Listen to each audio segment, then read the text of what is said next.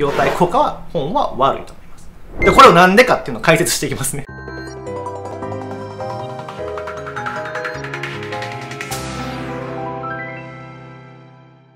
どうもこんにちは、ギャラクティクスのです。今日も出版に振り切ったお話なんですっごく狭い話なんですけども、まあ、これ知っといたら今後本出す方、書いてる方とか、ためになるんじゃないかなっていうお話をしようかなと思いますし、まあ、うちで言ったらリリースした方もこの動画見てくださるんで、まあ、確かに角の言ってることわかるってうなずいていただけたら嬉しいなというふうに思いますので、よかったらグッドボタン、チャンネル登録最後まで見ていただけたら嬉しいなというふうに思います。コメントもぜひぜひお待ちしております。最近嬉しいね。いろいろコメントもらえたりすると僕もまた励みになるので。最近週1本の投稿なんですけども、継続がね、大変だったりするんですけど、本当その声で継続しようとか頑張ろうって思ったりするので、もうよかったら応援いただけたら嬉しいなというふうに思います。まあ今日もちょっとテンポよく、ちょっと雑談形式なんですけども、まあこれだけはちょっと知っといた方がいいよっていうお話をしたいなというふうに思います。ということで、今日のトークテーマはこちら。暴露出版は費用対効果が悪すぎる話というものを持ってきました。あの、これ、もう本音で言うから、あの、その、隠してもしゃあないことやし、実はこうだよねっていう、ギャラクシーブックスという出版社をしながらなんですが、実は本ってめっちゃ費用対効果悪くない？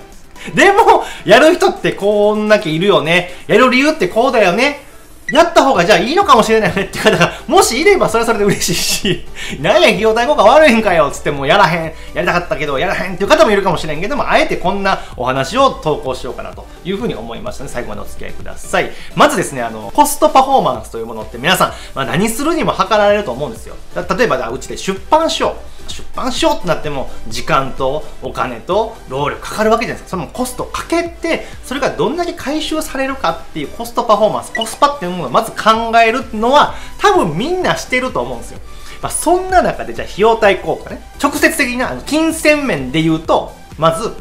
コスパ費用対効果は本は悪いと。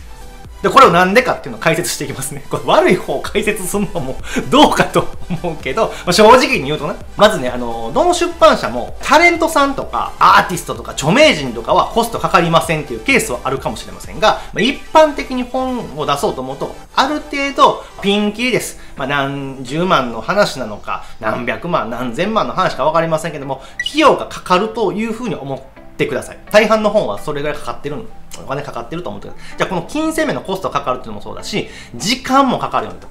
本を出そうと思ったら割と今日の明日出せるもんじゃないんですよね。まずその執筆する期間があって、もしくはライターがもしね、つくとかっていう方も中にいらっしゃるんですけど、ライターさんと打ち合わせするとかさ、録音してもらうとかさ、インタビューとってもいろんな方法があるんですよ。うちは割と執筆は自分でやってねっていう方が、まあ思いがちゃんと乗るかな、からいいかなと思ってやってるんですけども、いろんなパターンが出版社ってあるんですよ。まあその中で時間はかかります。自分の時間を使って書くと思う。で、これ本ってね、よう考えてくださいね。よう考えてね、これも僕ほんまに、たまに、アホらしいなと思うねんけど、本を作るから、本という物質を作るために、文字が必要なんですよ。文字が。作る側からするとね。書き手さんからすると。文字が必要なんで、まあ、例えば3万文字とか5万文字とか、例えば10万文字とかって文字を集める作業をするんですよね、初めに。で、その文字が集まった書物を本というわけじゃないですか。書籍というわけじゃないですか。だから、本という物質を作るために文字集めをするっていうのが時間かかるよねっていうのがまず、まあ、もちろん書き手さんからすると思いを書きたいからつらつら書けるっていう方もいるんだけども結構執筆苦しくなってくる人もいるんですよ。文字量書けないっていう方からするともうその文字集めっていうふうにやっぱするんですよ。文字がないと本として認定されないからなんですよ。なのでこの時間かかるよねとか文字集めするよねっていうのはこれ結構コストというかパワーいるんですよね。これをしないと本ってできないんですよ。僕も自分の本作ってて書いたことあるんですけど大変やったもん初めね。なんか文字こんなにいるんやと思って。本にするためには。当たり前で今僕当たり前のことを言ってるだけなんで。ただ本を作ると。本という物質は文字数がこうガーッと何万文字も集まって書物にしたものが書籍本なんでこれを作るためには文字量いるよねっていう話。当たり前なんやけど。後からみんな気づくから。しんどいことに。そうそうしんどいというかあの執筆が難しい方に関してはこれしんどいなって言われるんでまあそこは前提としてね本という物質作るために。で文章ができた後その後構成とか校閲とか我々も作業入りますよね。レイアウト作業。そしてお客さん著者さんには確認してねとか、えー、見てねとか間違いないとかっていう確認したりとか。あと、文章以外でも本を作るためには表紙を作らないといけない。表紙を作ってどうしますああしますとか、作業の順番は前後皆さん出版社で変わると思うんですけども、タイトル決めようとか、ね、どうどういうふうに表紙に入れ込んでいこうとかって打ち合わせをしながら、これも時間がかかりますよねと。まあ大変なんですよね。本作ろうと思ったリリースするまで。やることがとにかく多いと。で、ちょっと話戻ってお金の話をします。じゃあ仮に100万円使いましたの話しましょうか。あの、本を作る、出版するに当たってね。これよくある金額です。本当金額設定で100万で出せるところって結構多かったりします。100万、まあ高いか安いかはちょっとさておいて。で、100万円使ったというこの金額の回収の話をします。はい。えー、っとね、まず100万円使ったら100万円取り戻したいってみんな思うんですよ。思う、思うね。思うねんけどもこれその費用対効果悪いっていう話でねお金の話をするとえー、って思われるかもしれへんけども本って売れたら著者に印税が入るんですよ印税、パーセンテージ入る。これをあの CD とかでもありますね。印税が入ってくるっていう。これ出版社はもちろん入ってくるんだけど、著者にも入るんですよ。出版社によって、その印税の両立、パーセンテージですよね。これは変わってきます。プランによっても変わるかもしれへん。なので、一般的に言われてるのは、だいたい2%から10%ぐらいが著者の印税だとしましょう。これが大体の目安です。で、1冊じゃあ、例えば1500円で販売本をすると。して1冊売れましたで、仮に10%の印税設定だとした場合、1冊売れて150円なんですよ。大変じゃない？そもそもね、1冊売れて150円。こんだけ時間費やして、お金も使って、大変な文字書いて、レイアウト見て、打ち合わせして表紙作ってで、1個、1冊売れて、1500円で売って1冊売れて、10%の印税でも150円なんですよね。ってことは、100万円を回収しようと思った場合、約7000部売らんとあかんの。7000部。まあまあ難しいで、7000部売ろうと思ったら。で、でその金銭的にはトントンだよねと。回収しようと。費用対効果どうですか？めちゃくちゃ悪ないっていう話。ここまで聞いたら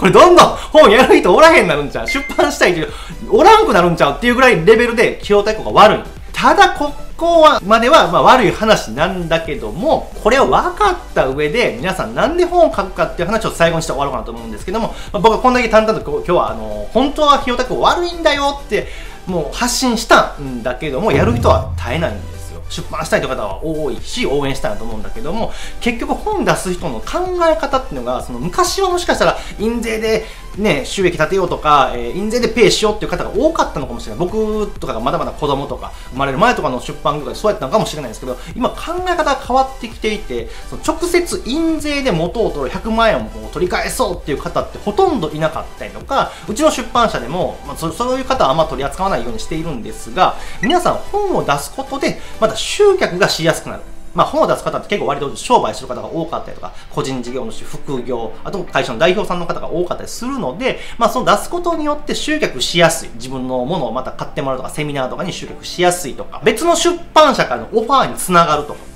これよくあるんですうちからも一作うちで出して、そこそこ売れて、他の出版社からオファー来て、他で出される方もいらっしゃる。これも別に悪いことではなくて、むしろいいことじゃないですか。ハッピーなことなんで。本を出すことで仕事の依頼、直接的な仕事の依頼が増えるっていう。これももううちの著者さん結構体験されてる方もいらっしゃいます。あと、まあ、人ですよね。人のつながりができて、そこでまたいいコミュニティとつながれる。ここが、その費用対効果の金銭面以外のところで補えるところかなと。で、そこで僕は本出してるんだよっていうことが言えることによって、これは箔がつくじゃないですけども、自分のステップアップができて、そして自分の商品単価上げていくとかっていう方もいらっしゃったりするから、まあ、そこトータルで元が取れればいいんじゃないのっていう考えの方が多いから、我々はあの仕事、会社を運営できていると。そういう方がいるから応援できるっていうのが、なんか最近の考え方、本を出すことによっての考え方。で、もちろんこれ費用対効効果という意味での本を出す出さないの話なんで、他にも出版した人のメリットとかさ、えー、よかったよ、こういう理由で出したよって方がいるんですけども、今日はこの、まあ、費用対効、コスパという部分での話なんで、まあそういった、まあなんかつながりがやっぱできるんですよ、本を出すと。とか、本当に幅が広がるっていうのを体験されて、結局コスパ良かったなとか、うちの会社でやってよかったなという声が増えてきたから、あえてちょっと今日はこんな動画を撮らさせてもらいました。まあだから、冒頭のね、もう前半部分だけ聞くと、生産性めちゃくちゃ悪いし、コスパ悪いし、費用対効果悪いし、もう全部良くないんだけど、トータルで見た時、トータルで見た時に見れる方、お金だけでないところを見れる方からすると、本を出してよかった、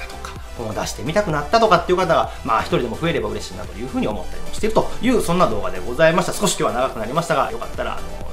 これもね、この話あったよ、面白かったよっていう方がいれば、この動画をシェアしてもらうとか、この話内容だけでもシェアしてもらえたら嬉しいなというふうに思いますので、引き続きギャラクシーボックスをよろしくお願いいたします。ということで、ギャラクシーボックスの